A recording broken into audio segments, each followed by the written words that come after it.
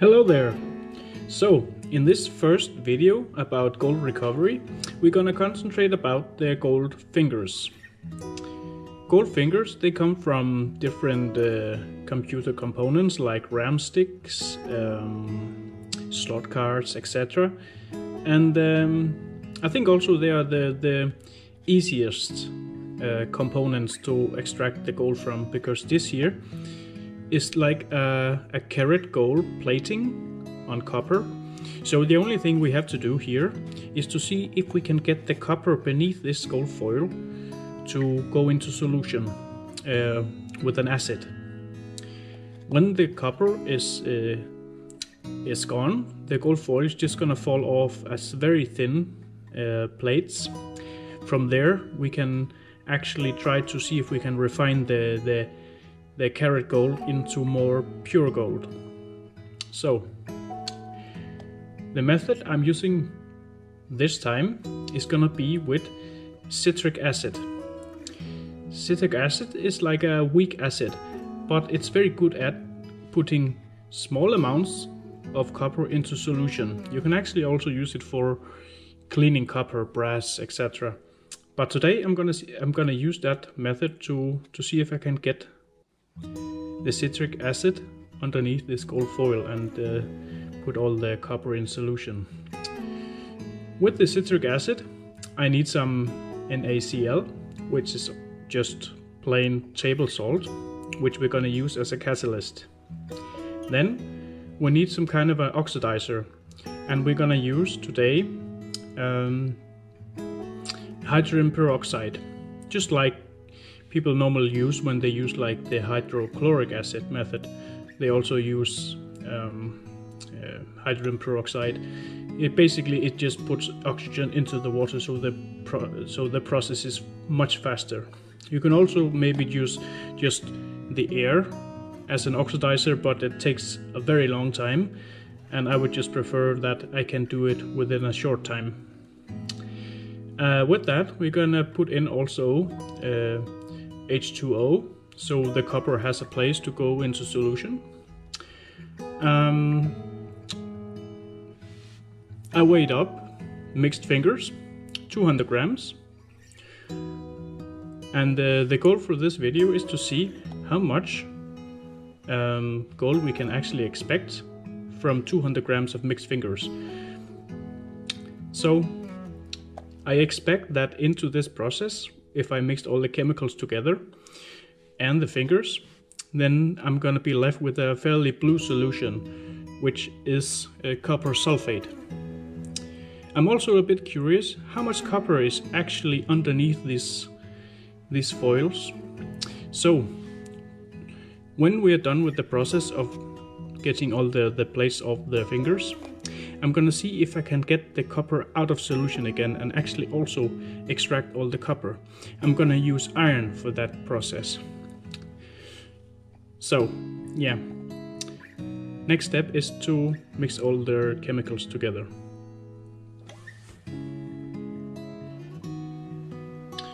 So here I have uh, measured up the different chemicals. We have here the hydrogen peroxide, we have here the table salt, and here we have the citric acid salt.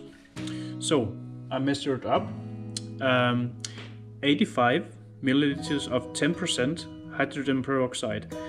And you could also use 3% hydrogen peroxide, but the 10% is what I'm gonna use today because I just had it. Um, the table salt, there are uh, 30 grams measured. The citric acid, I have 45 grams.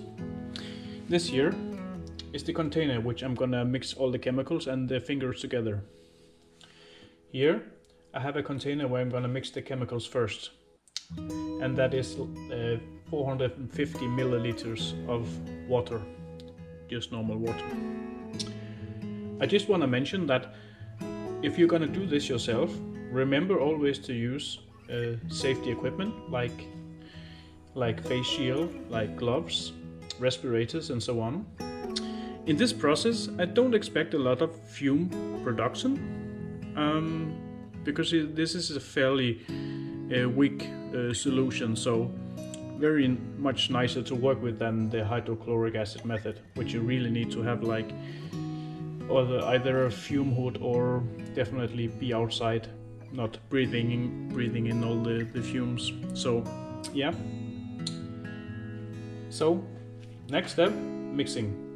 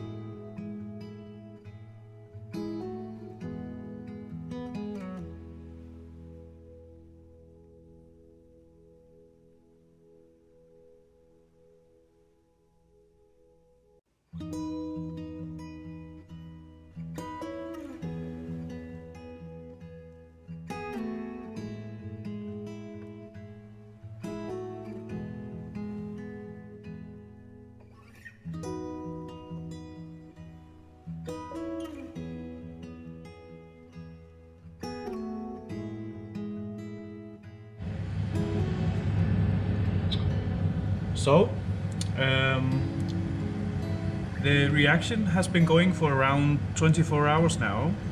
Um, I tried to speed up the process by applying some heat to it.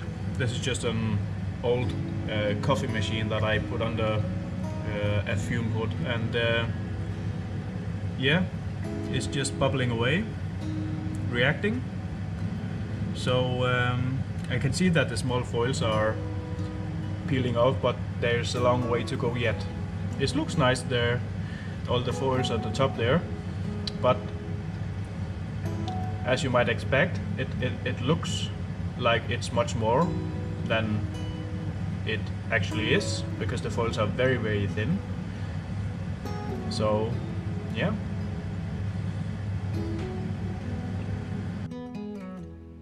So, Day three second batch. Yesterday uh, there was no more reaction, so I had to change the liquid. Um, I can still see some gold foils on the fingers, and um, I don't think they're gonna come off if they didn't come off at this point. So uh, I'm gonna decant this, filter out the solution, and retrieve all the gold foils. The rest just need to go into the next batch what can you do? Um, but something I want to show you is that after the first time I decant this, I filtered out all the foils that was in the, the beaker and this is the result so far.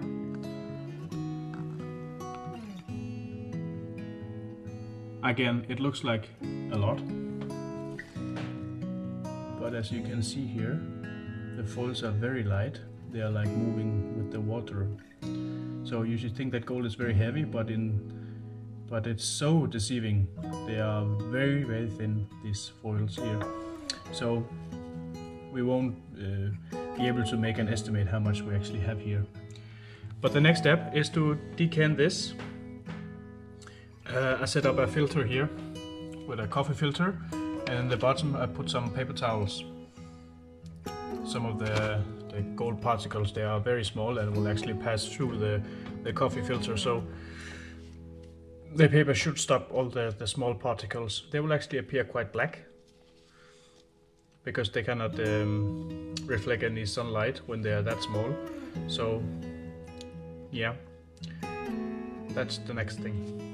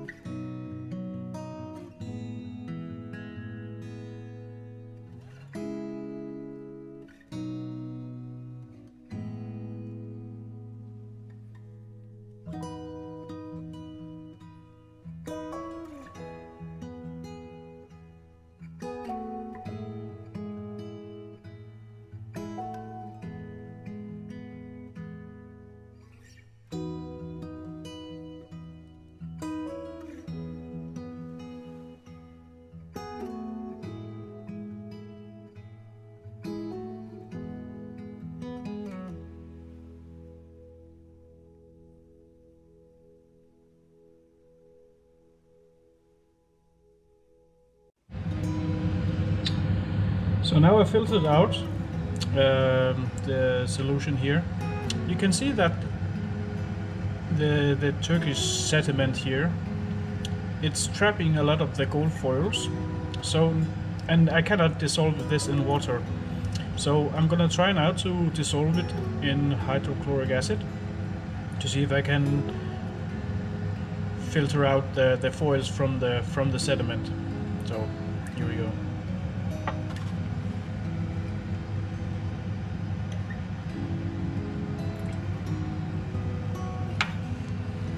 And we have an instant reaction.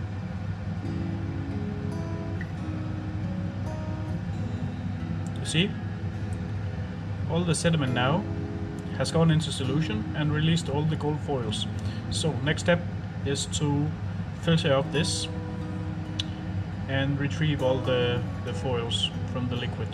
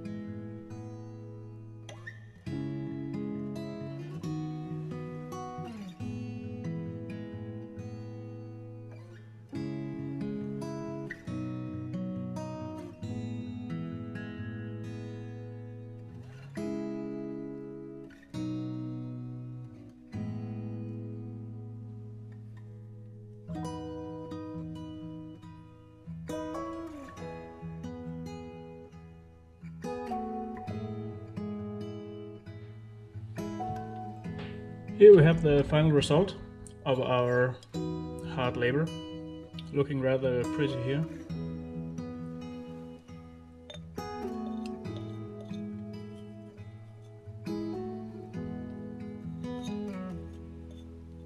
And this is going to be the be used in the next stage, which is the refining.